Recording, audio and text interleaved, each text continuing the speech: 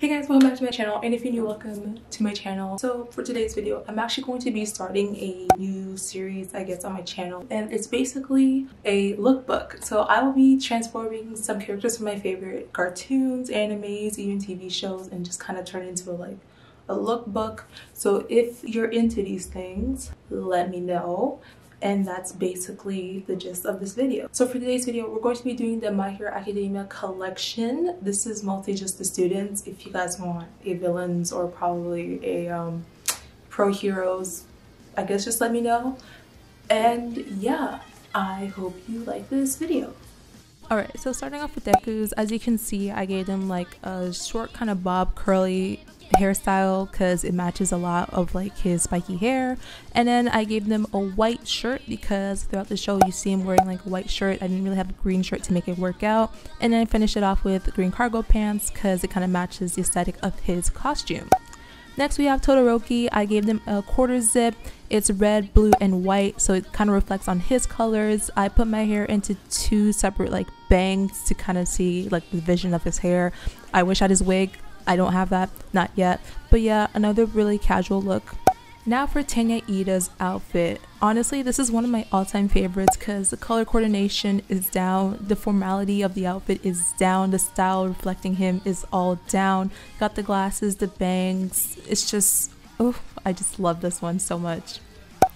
Now for Katsuki Bakugos, another one of my favorites. I put on the blonde hair to reflect his, an orange shirt to kind of match his aesthetic as well with the black pants, and just like a hat to top it off. I also gave myself like a chain and also my earrings to really bring out like the gangster style out of me for like this Bakugo look, and I love it.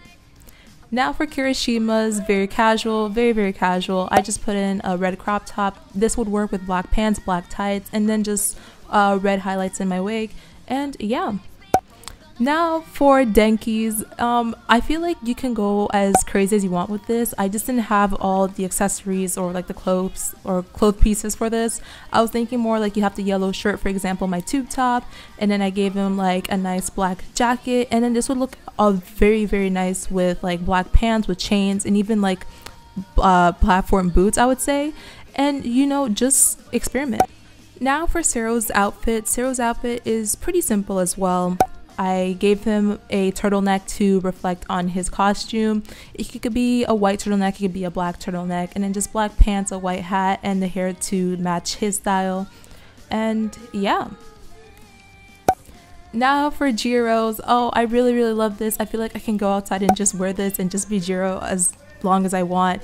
I gave her a Panic at the Disco shirt to reflect her taste in music and because it was purple it really helped with the aesthetic. I put on my headphones and I just love this. The hair as well, ugh, love it. Now to quickly talk about Urara because it's one of my all-time favorites as well because the hairstyle matches hers. I gave her a pink uh, large sweatshirt to match her bubbly personality and I just really like this one. And now for Momo's nice elegant outfit. This one you can go any way you want. As you can see, I parted my hair in the middle just like she would in a ponytail. Or you can leave it all down and still have that elegant style. Have the red dress to match her costume colors. And you know, just go crazy. Last but not least, we have Mina in her very, very nice outfit. It's pretty simple. You got the pink hair just like hers and then the pink shirt to reflect her color. And I went with red jeans to kind of reflect on like the polka dot style in her costume. So like, you know, kind of like holes. And it was, it's just cute and that is the end of my video. I really really hope you guys liked it. I had a lot of fun making this one. I'm not even going to lie and i'm looking forward to making a lot more because i have a lot more in mind. And i am aware that i am missing a couple of students so if you'd like to see a part two the rest of the students let me know.